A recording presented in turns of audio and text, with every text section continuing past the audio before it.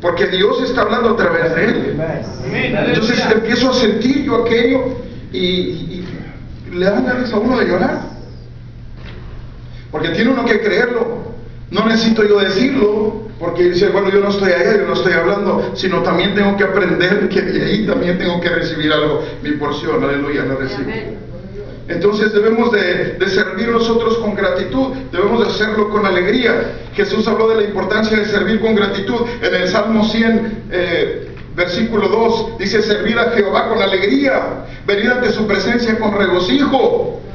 Colosenses 3:15 nos dice, y la paz de Dios gobierne en nuestros corazones, a la que asimismo fuisteis llamados en un solo cuerpo y sed agradecidos.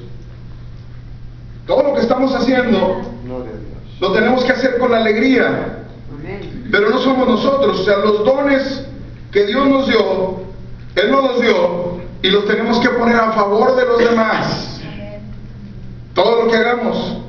Cuando a veces lo hacemos con motivos equivocados, hermanos, el, eh, Efesios capítulo 6, versículo 6, dice la Biblia, no sirviendo al ojo, como los que quieren agradar a los hombres, sino como siervos de Cristo de corazón, haciendo la voluntad de Dios. Gloria a Dios. Cuando queremos agradar a los hombres es una motivación incorrecta. La motivación correcta tiene que haber que a quien le estamos agradando es a Dios. Aleluya. Entonces servir con gratitud, hermanos, es una expresión de nosotros. O- Es la expresión que debiéramos de tener. Todo el mundo nos tiene que ver como personas que estamos eh, grandemente agradecidas con Dios. Quizás el Señor nos da- no nos ha dado un reinado, pero nos ha dado un pastorado. Quizás no nos ha dado un reinado, pero nos ha dado eh, un director de escuela dominical. Y tenemos que estar agradecidos con lo que Él nos da. Aleluya. Para algunos será poca cosa, para otros, pero Dios lo dio. Y cuando Dios lo dio, todo funciona bien. Amén. Gloria a Dios. Cuando Dios lo da, hermanos, porque cuando no, uy, la serie de cosas que hay. Una serie de problemas que hay. Por eso tenemos que aprender a escuchar la voz de Dios, la voz de los profetas. Yo sé que eh, de nuestra iglesia no hay profetas, pero ¿sabe que Hoy una de las palabras que están saliendo de aquí tienen que capturarlas ustedes. Porque son palabras que llevan, hermanos, un efecto profético. Y nosotros tenemos que recibirlo. Entonces, esta es la parte. El cristiano maduro es el que sirve a Dios donde sea necesario, con corazón agradecido. Una de las cosas que yo sentí que era de parte de Dios, cuando yo llegué a la iglesia, a mí me dieron la parte de los niños y comencé con los niños y jugaba con ellos, pero yo no me daba cuenta que luego el Señor para algo me necesitaba, pero comencé con ellos. Con lo mínimo me reía, tenía tres minutos, cinco minutos de atención y lo demás era puro juego. Era puro juego, tenía que ponerme a jugar con ellos porque era algo creativo. Con ellos no se puede, aleluya, chiquitín, eran los párvulos. Imagínense. Y yo me salía marchando con ellos, me miraban en la iglesia, que me hago?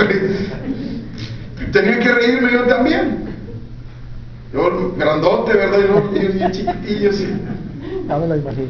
y jugando con ellos. Ahí estuve un año con ellos, aprendí más. Y sabe que y todo lo hacían los niños. Luego ya con los adultos pues, es más difícil. ¿Cuál es el resultado de servir a Dios? Yo creo que estoy pasándolos por... Tengo unos minutos. Ok. ¿Cuál es el, res- el resultado de servir a Dios? Porque Dios no es injusto. Cuando nosotros servimos a Dios, sabe que Dios es justo, Dios es bueno y Dios paga y paga muy bien. Y cuando hablo de ello no hablo de lo material, sino hablo de las bendiciones que Él, el hermano, nos da día a día. ¿Sabe por qué? Porque se acuerda de nuestro esfuerzo, de nuestro sacrificio. Cuando lo hacemos desinteresadamente, tenemos que servir. Dios anda buscando entre el bagaje. Anda buscando entre el bagaje. Hay gente aquí que tiene conocimiento pero no quiere servir. Tiene conocimiento pero no quiere servir. No sé. Pero yo, Dios ya le ha soltado palabra a través del predicador, a través del, del hermano, del obispo Páez, a través, suelta palabra. Y no recibimos nada. Porque esto tiene que producirnos un cambio para bien. ¿Sabe que Dios tiene cosas mejores para nosotros? Dios tiene cosas preparadas. Nosotros vamos a ir sirviendo siempre de nivel en nivel. Porque Dios nos está preparando para cosas mayores. Así es que